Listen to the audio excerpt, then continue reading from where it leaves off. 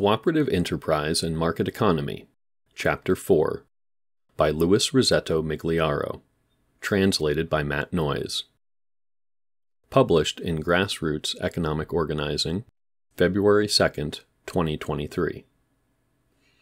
Heading Accumulation in Cooperatives.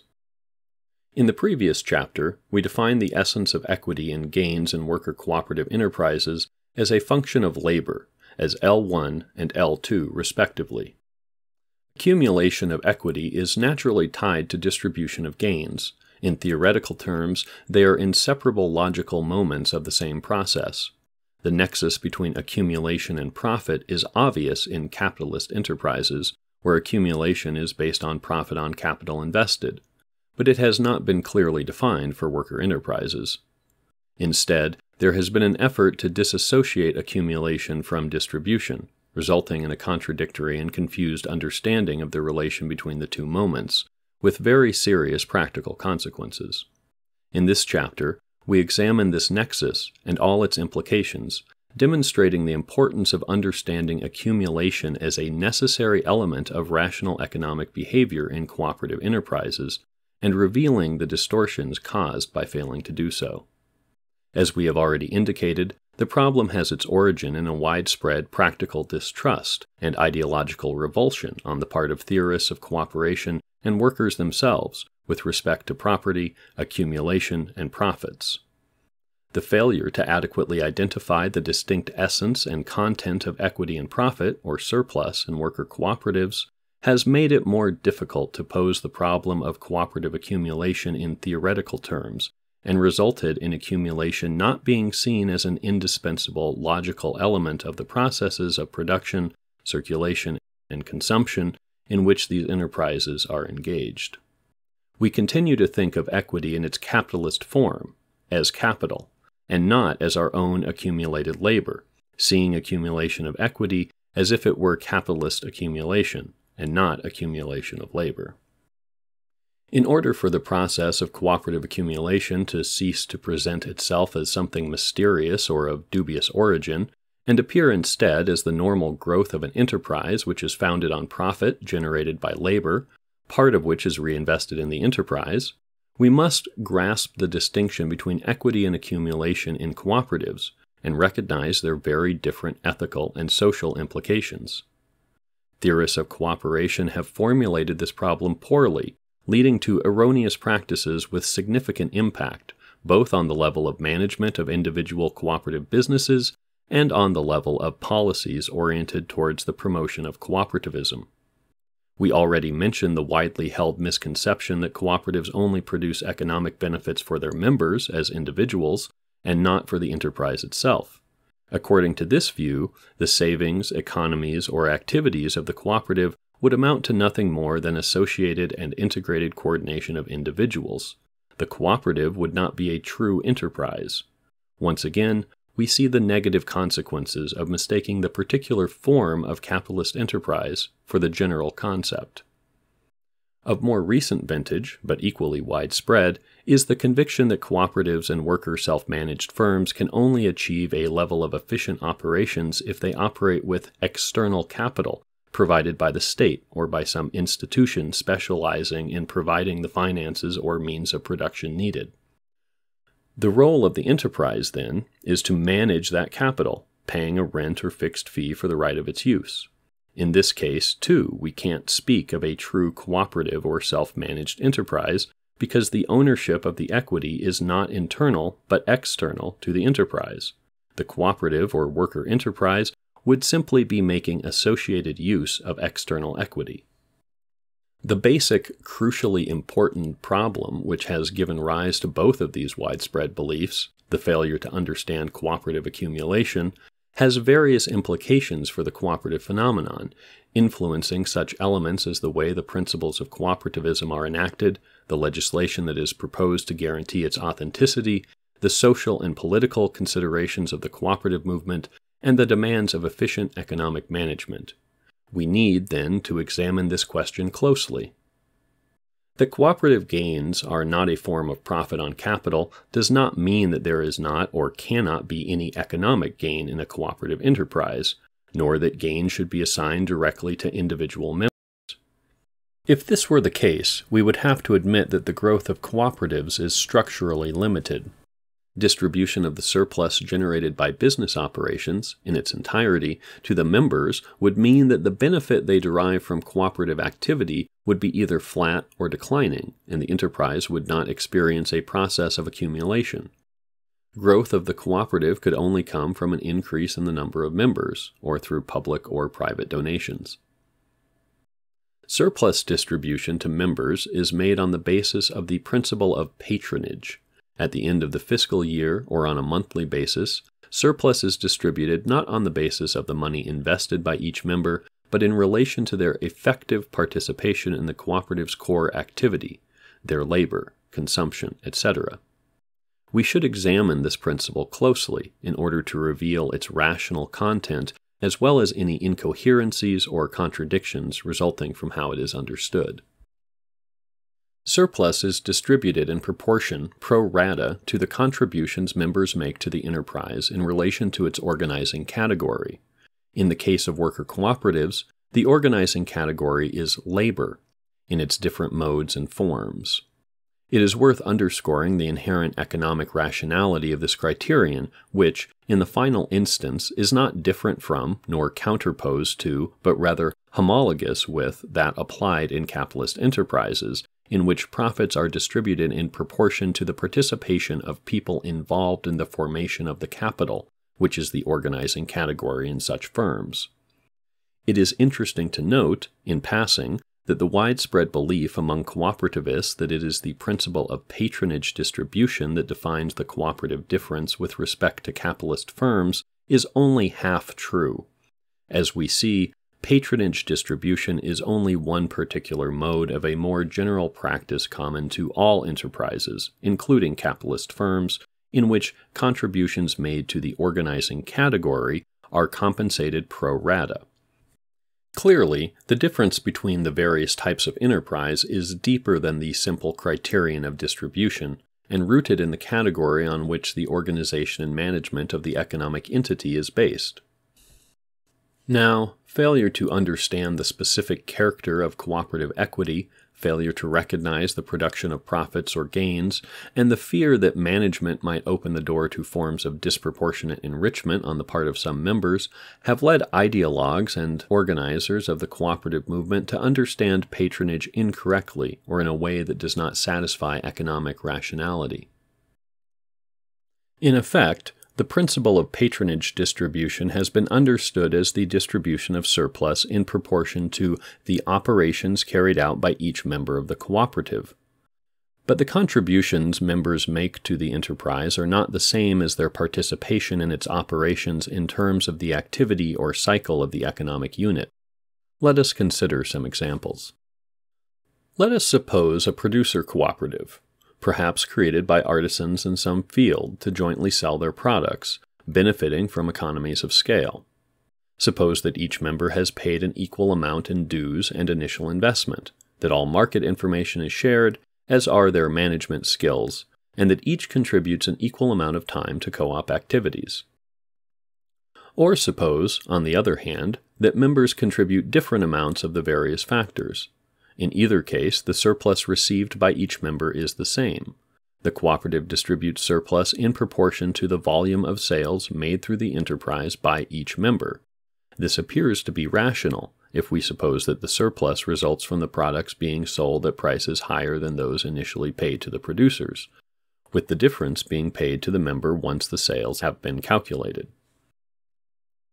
But is this how it really works? Or are we dealing with profits obtained by the enterprise as a result of good management of the market, reductions in operating costs, the quality of labor, and coordination carried out by the members? Now, let us suppose, and this is not an unrealistic supposition, that the members who are most active in the cooperative and sell the most through it are not those who are most active in its creation, in its labor and management. That, on the contrary, some who paid their dues faithfully participated in management and labor, and thus broadly collaborated in the generation of the surplus, sold very little through the cooperative because their own production was small. In your judgment, dear reader, Which criterion is economically rational and at the same time ethically just? A pro rata distribution based on contributions, or a pro rata distribution based on sales made through the cooperative? Another case is the traditional consumer cooperative. The members have paid their dues to join and thus acquired the right to shop at the cooperative. Assume that the members don't work, nor do they participate in management of the entity, which hires staff, limiting their participation to purchases of consumer goods. How, in this case, should the criterion of patronage be applied? We must first ask whether we are dealing with an enterprise in the sense we have given that concept, or just a phenomenon of association in the area of buying consumer goods, a buyer's club. If it is the latter, it is clear that the benefits belong to the consumers, and the rational criterion of distribution of potential surplus funds would be according to their amount of consumption. In that case, it would not really be a question of true profits of enterprise, but of benefits of association. To understand the appropriate mode of surplus distribution in a consumer cooperative that is a true enterprise, we must carefully examine the nature of the enterprise. What is its central activity? It is not, as it would appear, the sale of products. If that were its business, it would aim to have the smallest number of customers possible and charge them the highest prices the market would tolerate. On the contrary, the objective of the enterprise is to provide goods to its members at the lowest possible prices. Seen deeply, what this cooperative is doing is buying on behalf of its members. When delivering goods to the members, it simply passes on the prices at which the goods were purchased, including in those prices the amount spent by the cooperative in order to carry out the purchases. In other words, the members pay together the costs of the goods and the costs implied in the act of purchasing itself.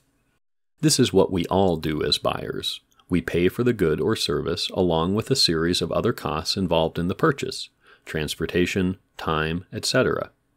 By doing it together in association, cooperative members can secure lower prices and reduce costs, buying in bulk and eliminating intermediaries.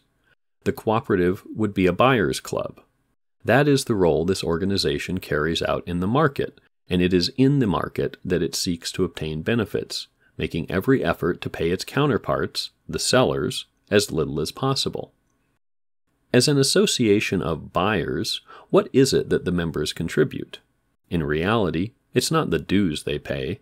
In effect, the dues members pay are not equity in the enterprise, but only a fee paid for the right to belong to the group.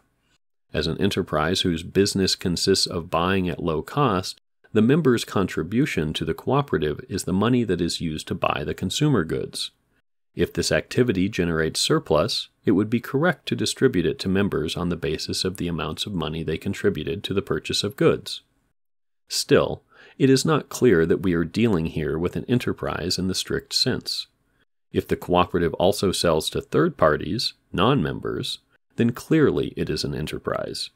In that case, it would be a typical commercial enterprise, buying and selling and generating a surplus to the extent that it manages to establish a difference between revenues and total costs. In such an enterprise, what is the organizing category and to whom do the profits belong? It is not difficult to see that in many cases the answer is capital, which forms an enterprise adopting the cooperative form, giving rise to a situation that is hybrid and a bit confused, but which can be disentangled on the basis of a careful analysis.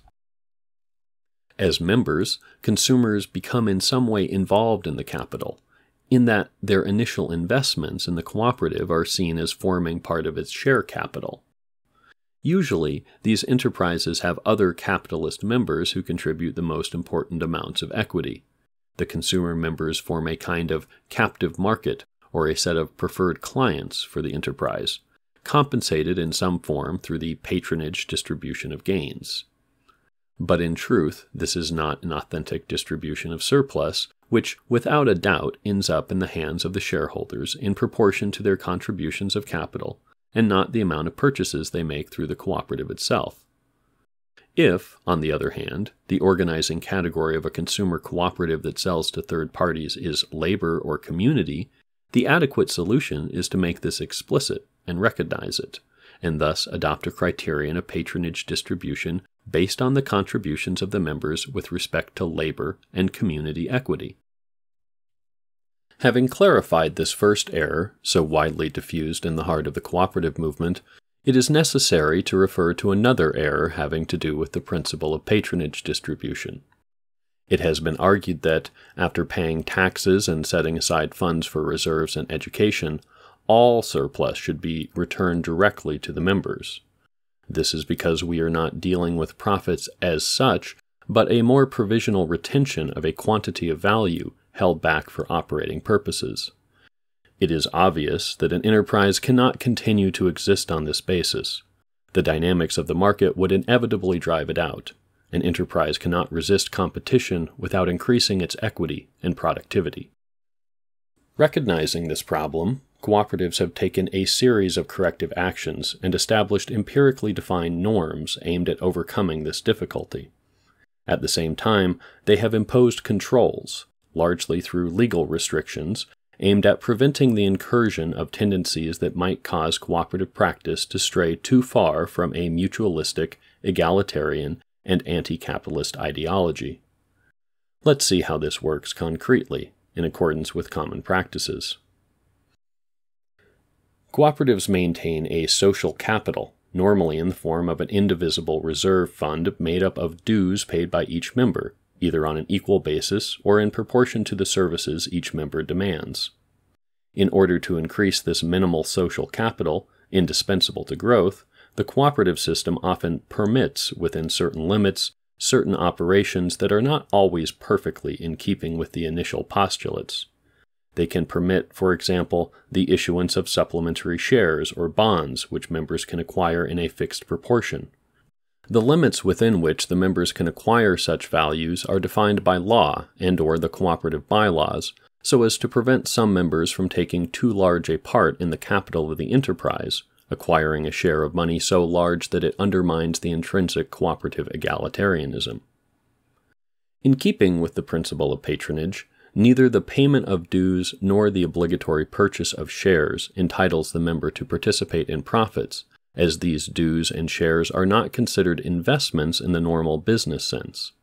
Rather, they are contributions made in solidarity by members seeking to sustain the activities of the cooperative in order to achieve the collective interest. The formation of cooperative social capital and the purchase of supplementary shares are better understood as voluntary contributions.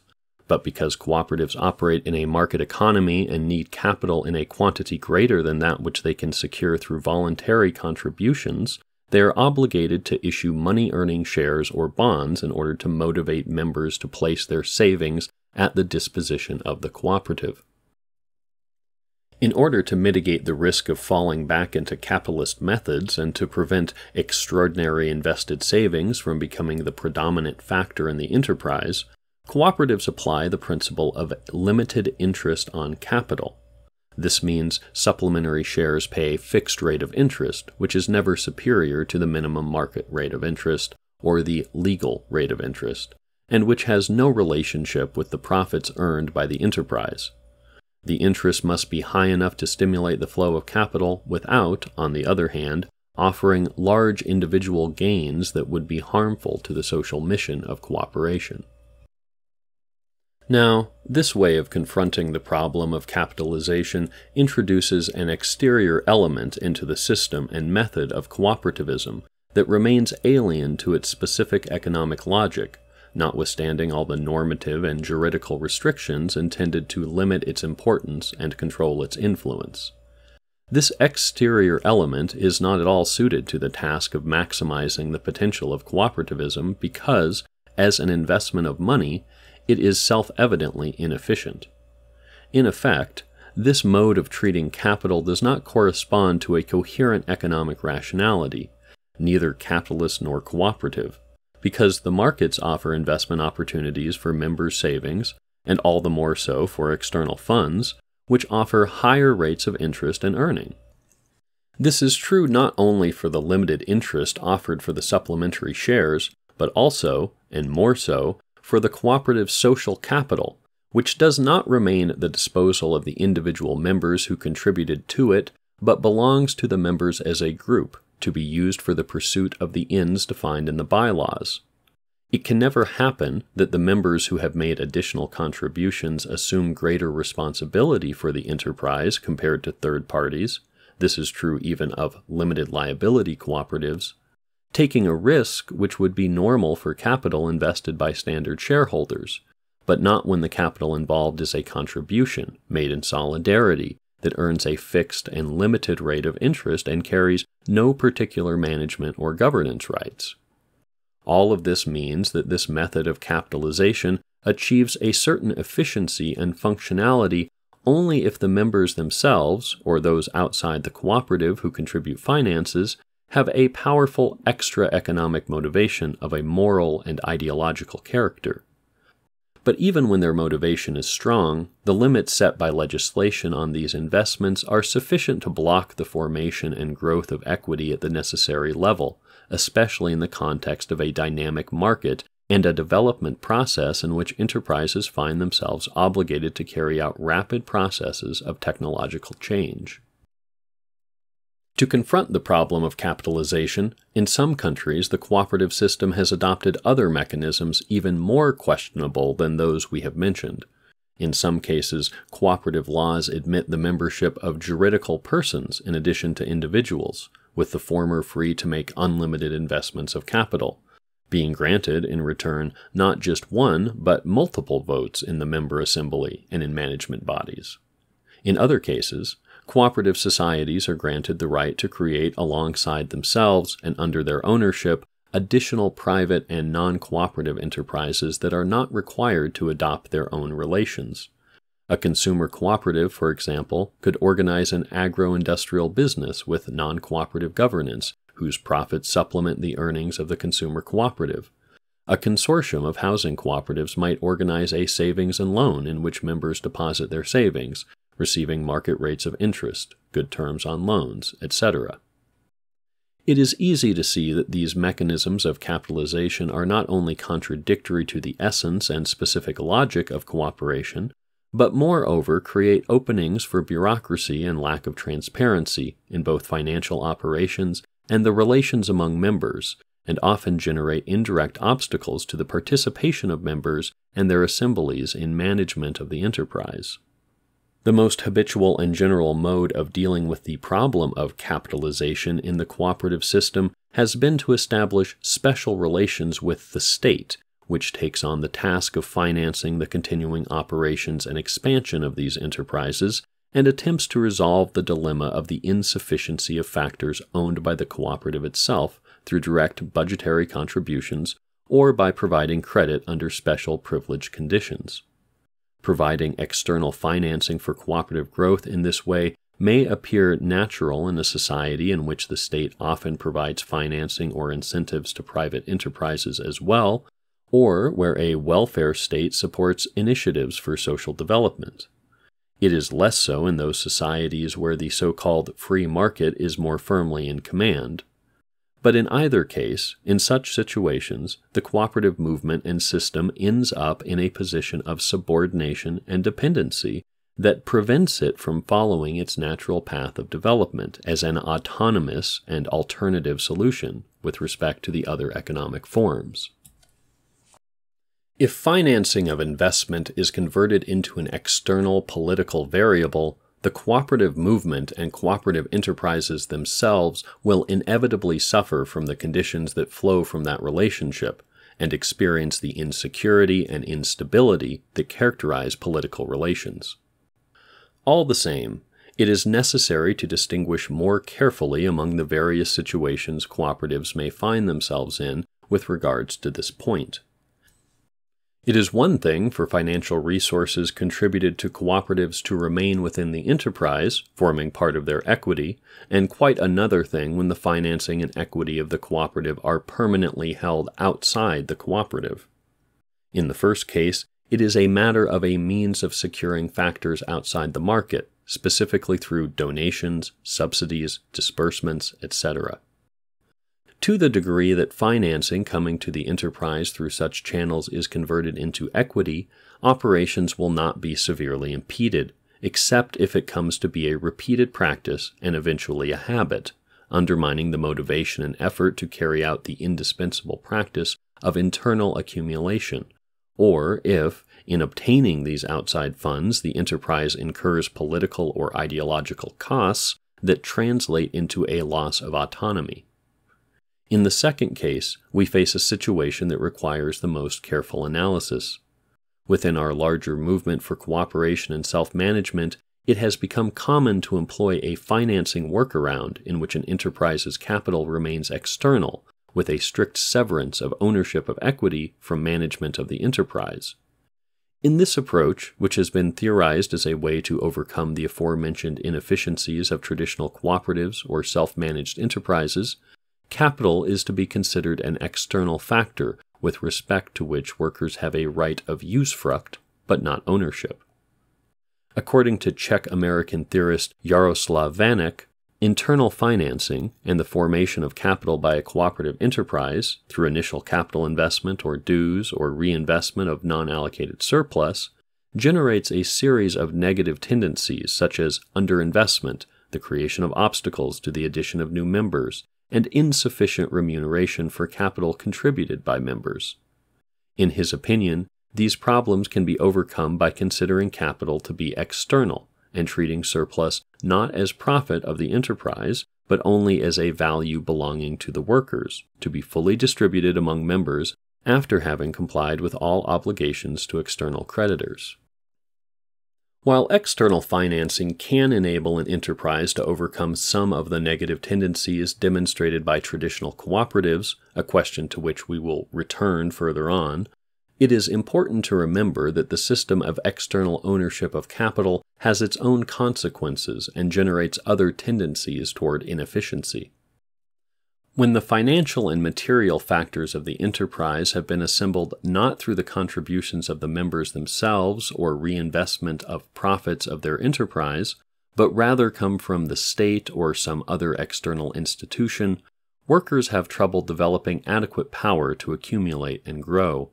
As a consequence, they will probably deploy and use those factors inefficiently, tending to adopt capital intensive technologies that permit them to increase production and worker income. In the absence of other, more important incentives for maintaining the value of the assets, there will also be a tendency to consume the invested capital. In response to such problems, it would be normal for public institutions or private providers of capital to demand definite levels of profitability and productivity of capital, limit the quantities of financing provided to each enterprise, limit firings, and demand that new workers be hired and carefully evaluate every investment project. But the result would be nothing other than a loss of control and direction of the enterprise by its workers, and the introduction of two contradictory operational logics with negative consequences for decision making in the enterprise. Given this problematic, according to which it would seem that cooperation must subordinate itself to either capitalist logic or the logic of state policy, a question arises. Does the cooperative phenomenon contain all the elements it needs in order to establish, through its own development, the framework for an autonomous and superior mode of organization of economic life? Or, rather, is cooperation an incomplete form that, in order to be established and developed, requires recourse to external elements which introduce contradiction, incoherence, and subordination. The ideologues of cooperativism have always maintained that the cooperative method is an autonomous totality, emphasizing especially the harmonization of labor and capital that distinguishes it from capitalist production, in which these two categories are personified in distinct subjects whose interests inevitably enter into conflict. They have not known, however, how to translate this autonomy into concrete terms, especially when it comes to cooperative accumulation and the treatment and organization of the financial factor. A negative ethical juridical judgment of capital usually fills the void, coupled with a persistent fear of capital's well known capacity to subordinate labor and the other essential factors of economic activity. In our analysis of valorization, we showed that the theoretical foundations of the autonomy of the cooperative economic mode are located on a different level, demonstrating that in a workers' enterprise, equity is essentially labor, and that external financing, precisely because it is external, should be treated according to market logic. In order for a cooperative enterprise to receive and assimilate money and capital while maintaining them in a subaltern and non determinate position, it is necessary, first of all, to exorcise the ideological prejudice and reverential fear that they provoke among those who remain culturally subordinate to capital. Money and capital must be treated as necessary economic factors and categories, like any other, only lacking the particular traits that enable them to naturally organize and direct the other factors, or that spontaneously assign them the role of managing the units of economic activity that have the highest efficiency. To achieve this level of theoretical and cultural autonomy, a deep understanding of the essential contents of the economic categories of cooperativism, community, and labor is necessary. This requires, in turn, the work of analysis and abstraction that we have presented here in theoretical terms. This implies a shift in consciousness from that which has permeated economic culture in modern societies, especially in those long dominated by capitalism. It becomes necessary to empty out a multitude of habitual economic concepts, injecting them with new contents and new meanings. It seems opportune, then, to pause for a moment on the concepts of accumulation and equity as used in our analysis.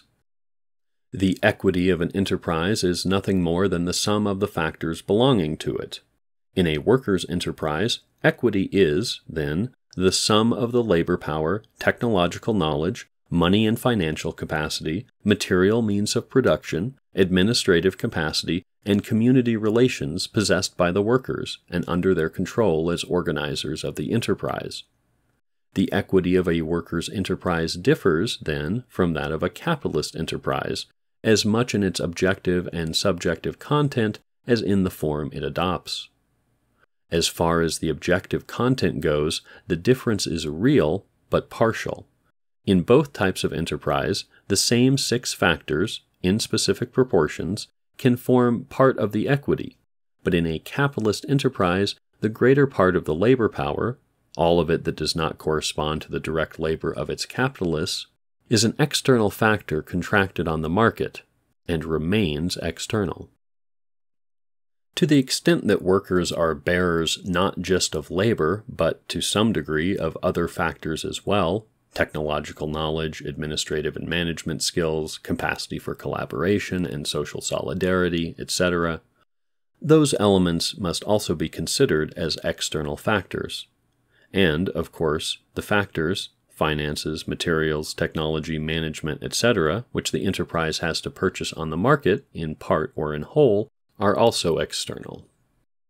In a worker's enterprise, again speaking objectively, equity comprises its worker members' capacity for labor, along with the elements of the other factors indissolubly linked to them that they place in the service of their cooperative or associative enterprise, as well as those portions of other factors that they have managed to acquire and bring under their ownership and control.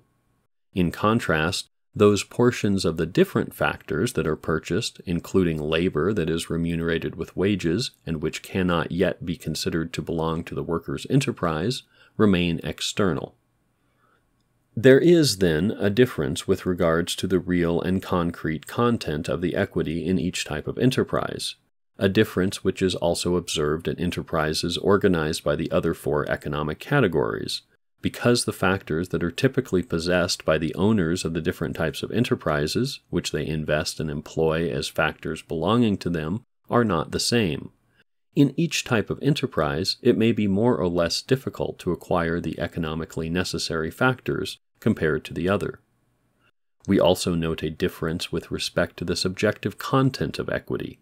We refer here to the fact that the organizers of the various types of enterprises workers, capitalists, landowners, technologists, administrators, communities, relate to these internal factors in different ways with different alignments of values, culture, and concepts. A shareholder of capital and a worker in a worker's enterprise do not understand ownership of administrative capacity and technological knowledge in the same way. This subjective and qualitative dimension of equity is of great importance. Its analysis is complex, and for the moment we limit ourselves to mentioning it as we will return to it with reference to the theme of property. As for the differences in economic form that equity takes, we have already gone some way into this theme, they are determined by the form of equity in the enterprise and, at a deep level, the enterprise's organizing category. These differences in the objective and subjective content of equity and the form it takes in enterprises organized by capital, labor, means of production, technology, administration, and community enable us to understand that accumulation also differs in each, both in the ways it occurs and in the types of economic activity accumulated. The differences correspond to those we just defined with respect to equity. The real content of accumulation is at every moment the result of previous or past accumulation.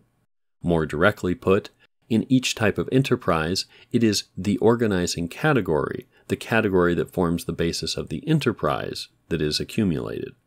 Clearly, accumulating capital is not the same as accumulating labor, technology, or community. It is very important to understand accumulation in this way in order to resolve old controversies with respect to cooperative accumulation. The broad concept of accumulation we have established will have decisive implications when it comes time to analyze the contents and forms of economic growth and development. As for the specific character of cooperative accumulation, we understand that it comprises not only financial accumulation or accumulation of material means of production, but also accumulation of labor power, the community factor, technology, and administration. It is easier to understand this point if you take cooperativism as your point of departure, rather than other types of enterprise. It is clear it is not only money and material goods that are accumulated, both being largely external to the human person, but the human element embodied in the workers in the form of their growing capacities for labor, technology, social relations, and values of solidarity. In any case, in a cooperative enterprise, finance and material means of production are indeed accumulated and form part of the equity. This takes place on the basis of a specific contractual relation and or a relation of domination that must be established in relation to these factors. From the various considerations taken into account in this chapter and those before, we can extract the thesis that in order for cooperative enterprises, whether of workers or communities, to establish themselves and develop as instances of a different mode of economic organization autonomous with respect to capitalist enterprises, it is necessary for the organizing category to establish explicit and normal market relations with all the other external factors, including finance and means of production. These relations are defined in accordance with the principle which applies to every type of enterprise that the organizing economic category tries to increase its value as much as possible. That is, it tries to pay or remunerate the external factors it needs but does not own at the lowest possible rate without breaking the relationship. But even this is insufficient. Liberalization of relations between the cooperative system and financing and other external factors should go hand in hand with a new model of conceiving and using the profits generated by these enterprises. Cooperatives should be able to make profits as enterprises and dispose of them not only by distributing them on a patronage basis to members, but also by using them to expand the operations of the enterprise or increase its reserve funds and overall equity. As for the finance factor, cooperatives can generate their own financing, supplemented by credit obtained through various normal sources bank credit, private loans, mortgages, easier payment terms from suppliers, as well as deposits made by members, which do not belong to the cooperative, but to the lenders, being normal investments made on standard market terms. If the process of accumulation develops in this way, cooperative enterprises will be able to ensure that their financial and material equity remains subordinated to the economic category by which they are organized, labor or community, and will be able to use that equity to increase the value of that category, broadening the enterprise's field of activity. As property of the cooperative and not its part owner, which is the status capital has when a person becomes a member of the cooperative on the basis of providing capital or credit, said financial and material factors cannot act against the cooperative, that is, rise up against the economic category that organizes and directs them. As for those portions of the material and financial factors that the enterprise buys on the market and that consequently remain external to the cooperative, the relation will obviously be an opposition of interests in the framework of reciprocal convenience, without which the contractual relationship would not be established. The decisive factor being the relation of forces in the market. As long as capital remains external, there is no possibility of subordinating it structurally.